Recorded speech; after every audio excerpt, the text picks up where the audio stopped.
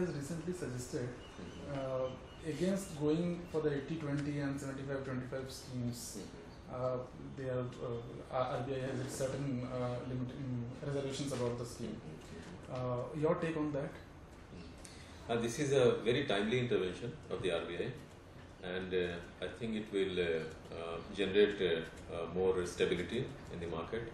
And it was required also because the scheme under this scheme, it's not a scheme really, but uh, uh, the builders were getting uh, upfront money uh, on account of the borrower's uh, amount, the borrower's account, and this entire funding used to be 80 percent uh, used to uh, be given by the banks as loan to the builders, as loan to the borrowers, but actually parked with the builders.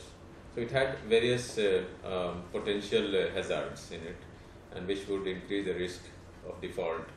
Uh, number two, it could uh, also increase the risk of diversion of funds to some other projects, and ultimately the borrower uh, remaining high and dry. So the RBI's intervention has been uh, very, very timely and very positive.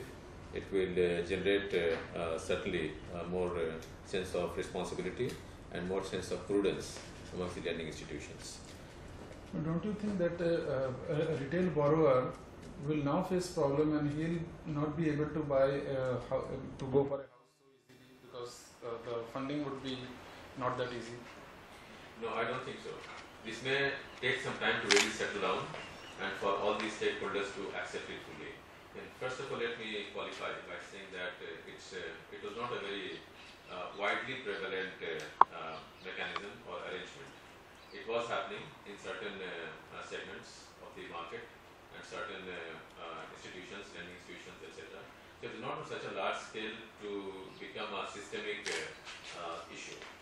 But having said that, the buyer to your question, the buyer will be may those who were uh, getting the funds easily or in, in whose cases the, the amount used to be deposited to builders right upfront without uh, linking it to the stage of construction. I think the borrowers will now be uh, much will feel much safe, much more safe as compared to earlier days because we also know that the borrowers have become educated and they know the mechanics of uh, construction, the building, the loan releases, etc. And they would feel more confident and uh, uh, protected that all their money is not being put in the hands of uh, the agency or the construction agency uh, whose where the projects haven't come up yet. So they would feel in a way uh, much safer and the risk perception of the lenders will also reduce. As a result of which it's possible that the lenders may be able to give them loans at a lower rate of interest also as compared to what they were giving earlier.